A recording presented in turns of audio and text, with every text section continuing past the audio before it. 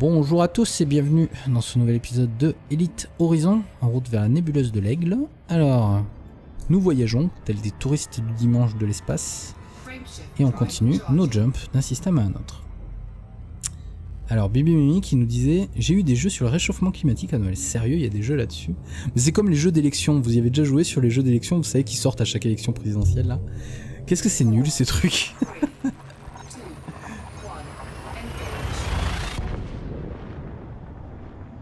T'arrives à imaginer les sons Nuke Corp Putain, c'est impressionnant.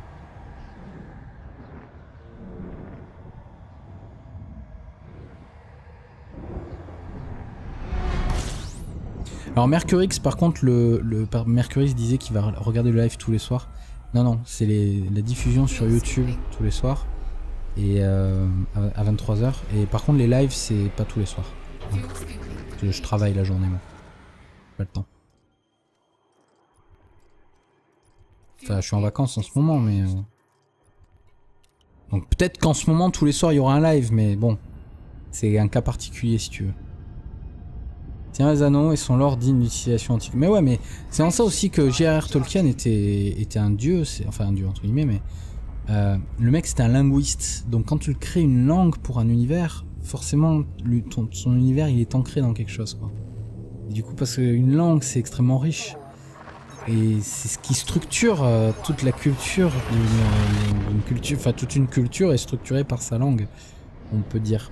Sa façon en tout cas de communiquer. Donc quand t'es loin linguiste, t'es forcément, t'as forcément, un- on va dire, une bonne approche par rapport à ça. C'est en ça que J.R. Tolkien est plutôt fort.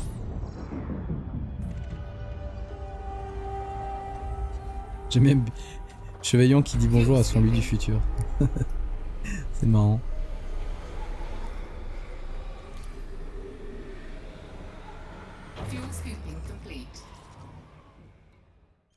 Ah, ah, ah, ah, non, non, non.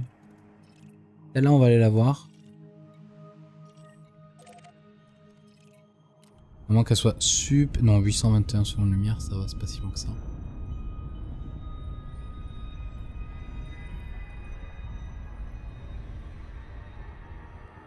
C'est pour ça que j'écris, j'ai même besoin d'évacuer mon imagination, sinon ça me distrait dans mes cours. Ah bah t'as- tu fais bien, l'écriture est une- un excellent moyen, que ce soit pour évacuer son imagination ou ses émotions même. Si vous avez du mal à gérer vos émotions, je vous conseille de les écrire sur du bout de papier, ça va vous faire beaucoup de bien. Ça va vous aider à trier ce qui se passe dans votre tête. Moi ça m'a beaucoup aidé à une époque en tout cas.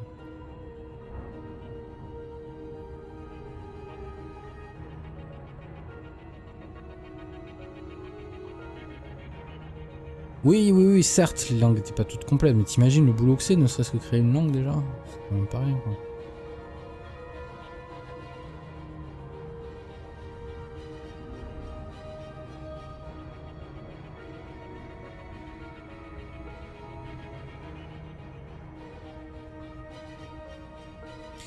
Ah oui, c'est vrai que ça aussi, on me l'a dit euh, euh, le soir du, Noël- de Noël. Il y a des gens, enfin, tu sais, dans le repas de Noël.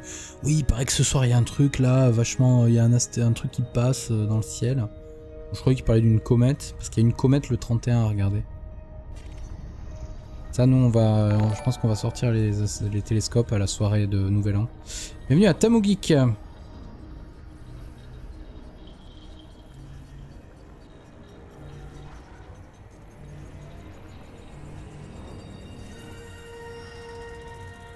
On te l'a dit au retour de la messe. bon, euh, ici, il n'y avait que ça qui nous intéressait. Et on est arrivé. Ah ouais, on est arrivé. Ok, bah on va pouvoir planifier notre prochain... Notre prochain... prochaine étape. Ouais, non, il n'y a rien d'autre dans le coin. Alors ça, c'était quoi du coup? Monde très riche en métaux, pas terraformable, pas d'atmosphère. Oui, vu qu'on peut se poser dessus, c'est logique. Donc carte de la galaxie. Euh, attendez, je vais peut-être couper les moteurs quand même avant d'aller en carte de la galaxie parce que avant qu'on se retrouve on sait pas où. Donc ça, ça c'est Wittem, mais il est plus bas que nous. Et d'ailleurs il a l'air plus proche du nuage. Effectivement peut-être qu'on parce que nous on est monté assez haut là. Euh, je vais peut-être euh, pour la prochaine étape, mais j'aimerais bien aller voir cette nébuleuse là-bas en même temps. Mais toujours est-il que Ouais, on va essayer de redescendre un petit peu. À peu près par là, on va voir. Quelle distance là 587 années-lumière. Je sais pas si... Non, itinéraire impossible. Est-ce que je peux aller par là? Non. Je crois qu'on commence vraiment à avoir un problème de, de portée là.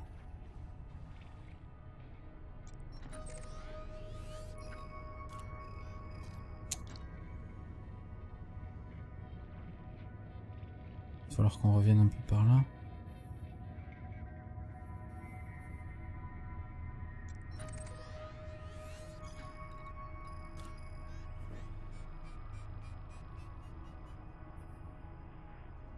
Donc là, on a un trajet, si on veut. Il nous fait effectivement bien descendre. Ouais. Ça me semble être une bonne idée de descendre. Parce que là, ça doit être, ça a l'air d'être... Voilà, c'est beaucoup plus dense par ici. Ah, c'est juste qu'on est beaucoup trop haut.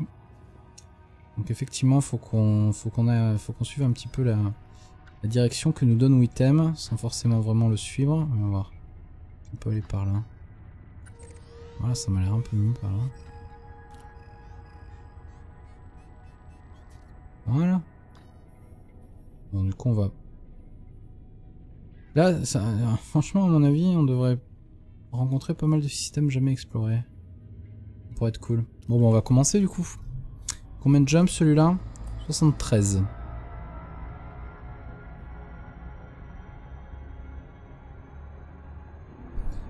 Let's go.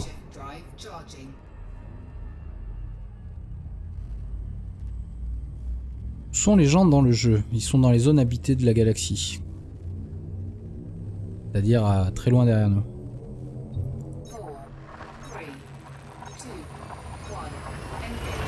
Les zones habitées sont à peu près 300 lumi- années-lumière autour du système solaire.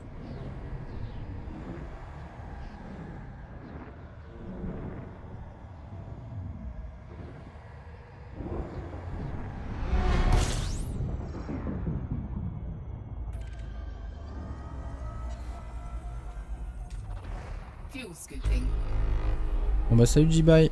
Ah tu laisses le live en fond Ok. Jace, retourne à la civilisation. Non, je suis un ermite. Je resterai l'er- ermite. Putain, y a qu'une étoile ici. C'est blasant quand même ça.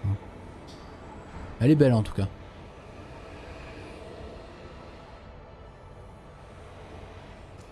Ça va Spock? Qu'est-ce que tu fais? Putain, on est un peu proche.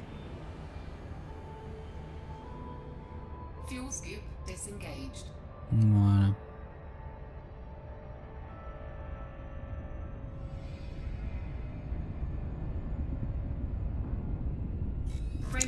Drive parti. Bonsoir, Robski Warrior.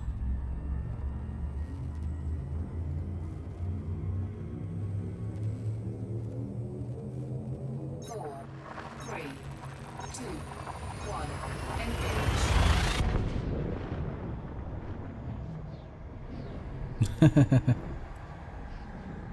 Ah, ce sera pas de ma faute, hein, ce sera la faute des sectoïdes si tu meurs. hein.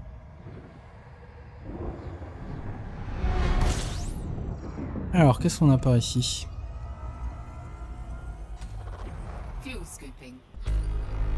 Trois objets découverts et c'est que des étoiles. Alors, je le sais parce que ils sont, euh, en fait, quand c'est des, quand c'est des trucs en orbite autour d'un autre, il y a un décalage dans la liste. Bon, alors que là, ils sont tous, tout est sur la même ligne, donc c'est, ça peut être que des étoiles du coup. Euh, bienvenue à Robski Warrior.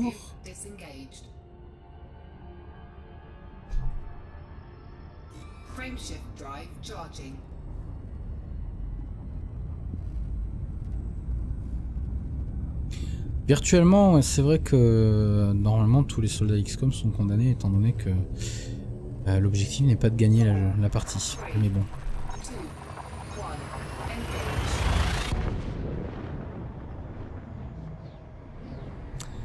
Bonne nuit Raze. Salut.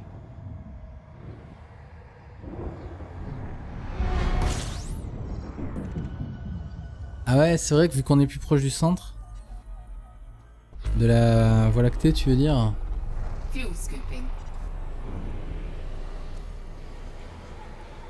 Alors ça c'est deux étoiles seulement, à moins que ce soit noir.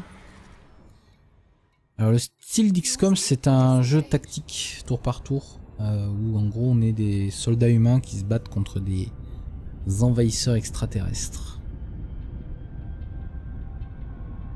Et ce qui est sympa pour un youtubeur, on va dire, c'est que on peut personnaliser les soldats, donc du coup on peut proposer à nos abonnés justement d'incarner un personnage, voyez, ou de nous proposer un concept de personnage, le nom, le prénom, son origine, la langue qu'il parle, ce genre de choses. Et du coup ça, ça permet aux viewers de mieux s'identifier à ce qui se passe.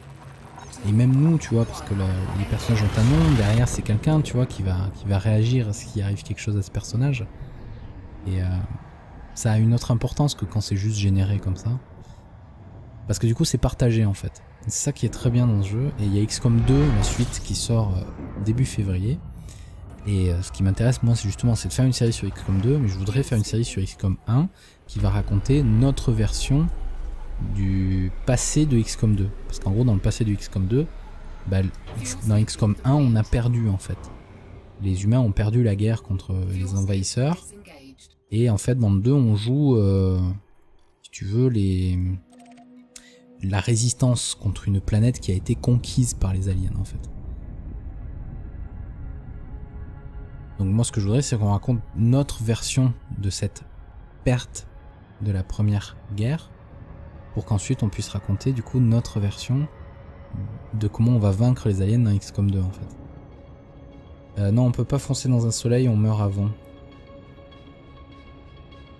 Suis-tu les lancements et tests de SpaceX euh, Vite fait, de loin. Je regarde quand il y a la news qui m'indique que ça s'est bien ou mal passé, je vais jeter un oeil quoi.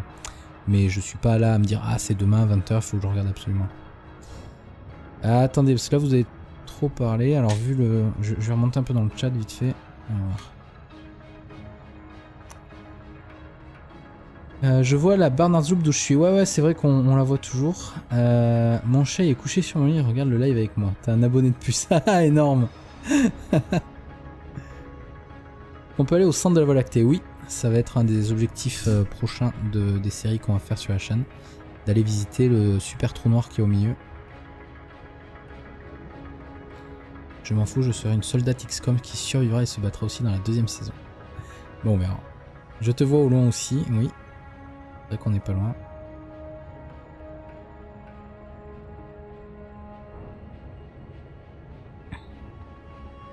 Ça m'étonnerait, Chevalion, qu'on arrive jusqu'à avoir les, les mechas. Parce qu'avec le mode Long War, les mechas, c'est pas au début du jeu qu'on les a.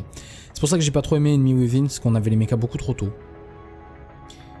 Euh, payant, oui, mais le XCOM 1 est pas cher, hein, il est à 9 euros, je crois, un truc comme ça. Il dévore toutes choses. Oiseaux, bêtes, arbres, fleurs, il ronge le fer, mord l'acier, réduit les lunes en pierre, les dures pierres en poudre, met à mort les rois, détruit des villes et aplatit la plus haute montagne. Qui suis-je? C'est le temps. Bataille. Bibi qui a répondu avant moi, mais moi j'ai un décalage.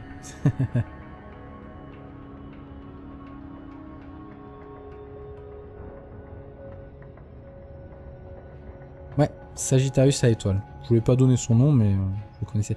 C'est vrai que putain, la voie lactée, euh, elle est belle là. hein.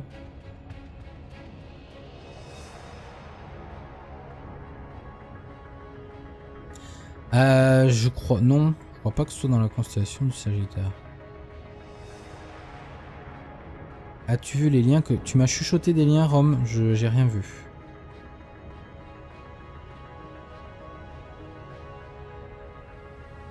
Qu'est-ce que je pense des films de Hayao Miyazaki? Je ne les ai jamais vus. Je sais, c'est mal. Il paraît qu'ils sont géniaux. Géniaux même.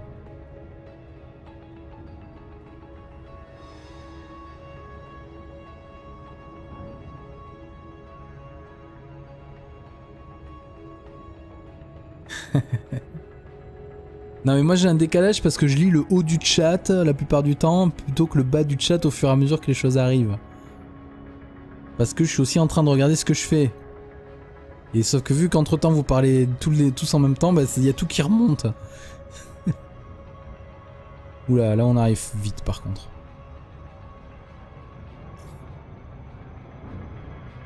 Couper les moteurs.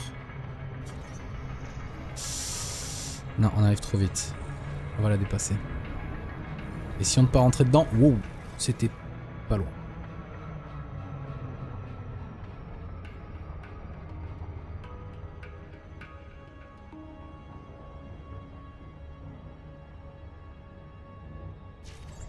Voilà.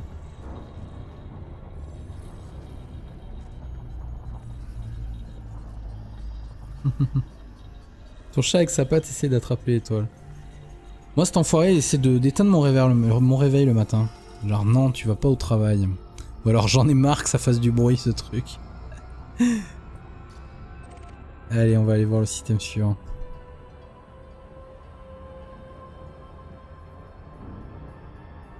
Frameshift drive charging.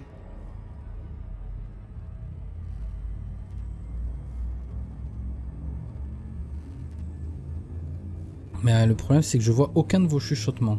Ah si, ça y est. Est-ce que ça se voit par contre à l'écran? Je crois pas. Hein. engage. Je dirais pas.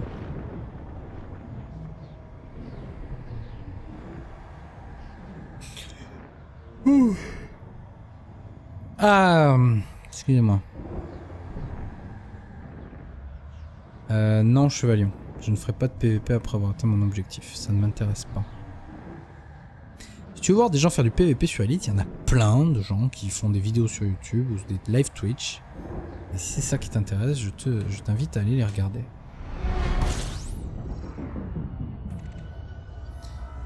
Parce qu'ils le feront 100 fois mieux que moi, parce qu'ils seront équipés pour le faire. Moi j'ai pas, pas l'équipement, j'ai pas l'intérêt, j'ai pas envie de passer le temps à faire ça.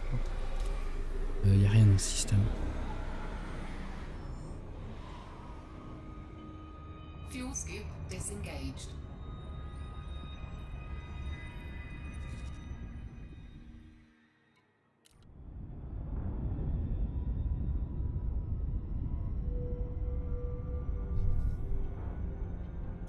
Frameshift drive charging.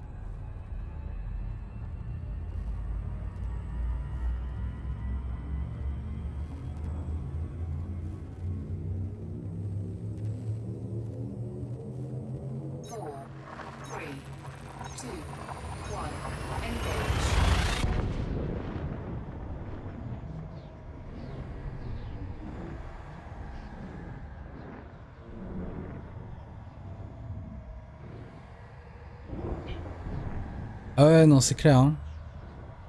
T'as tout à fait raison, ça fait vachement bizarre de, de- de- ce- ce- cette perte de densité euh, des étoiles dans la zone où on est. euh, bah, c'est en même temps, on est entre deux bras galactiques, donc c'est normal. hein. La densité d'étoiles diminue énormément. Mais comme quoi, c'est pas non plus le vide. C'est juste la densité d'étoiles qui a diminué. D'ailleurs, si ça vous intéresse pour voir... euh, alors, c'est une théorie, mais je crois pas qu'elle est, est, valide. hein. Mais c'est une façon de représenter les galaxies, euh, notamment en termes d'algorithmie. C'est ce qu'on appelle la Density Wave Theory, la, théorie des ondes euh, de densité qui permettent en fait de représenter... Euh. Ah putain. Spock, arrête de me griffer la jambe s'il te plaît. Merci. Non mais il est en train de faire ses griffes sur ma jambe. T'as des trucs à toi pour faire tes griffes Non. Je sais plus ce que je disais. Oui, voilà. Density Wave Theory. Euh, ça permet... Il y a beaucoup d'algorithmes de génération de galaxies qui est basé dessus. Qui fait des trucs super sympas. Pourrais-tu nous montrer ta route sur la map galactique? Ouais, deux minutes.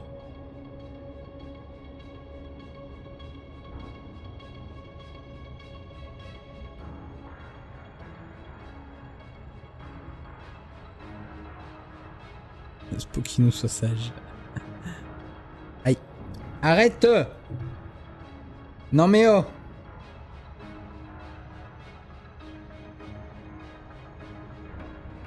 Je jure, un jour, il va, je vais me réveiller, il va, il va me manquer une jambe ou un truc comme ça, il va me l'avoir mangé.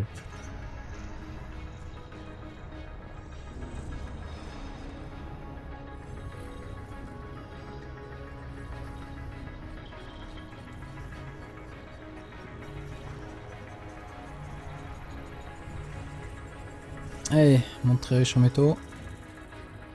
Eh ben, c'est bien long. Yes. Alors, carte galactique vite fait. Donc on est là. Sol est là. Notre cible est approximativement par là. Par là plutôt. Et là, en fait, on est en train principalement de redescendre. En fait, je fais, je fais aussi un peu des détours pour essayer de, de naviguer dans des zones qui ont été très peu explorées. Et je redescends aussi pour être plus proche, voilà, parce que tu vois, la densité d'étoiles est plus, dense par ici. Euh, ce qui me permet de voyager parce que j'ai j'ai une portée de saut assez faible, en fait, au final. Or, euh, c'est... Voilà, quoi. Parce que là, je suis beaucoup trop haut dans le plan de, de l'écliptique euh, de la Voie lactée. Bon, ça monte haut quand même, hein. Il y a encore des étoiles à cette hauteur, hein. Un truc de fou. Vous imaginez aller là-haut? Ça va pas grand chose. Et putain, tu pourrais presque voir la Voie lactée de dessus, quoi. Ah. Ce serait épique. Bon, euh, on va s'arrêter là pour cet épisode. Merci à tous d'avoir suivi cette rediffusion sur YouTube. On vous souhaite une excellente soirée. Et on vous dit à demain pour le prochain épisode. À 23h. Allez, salut à tous.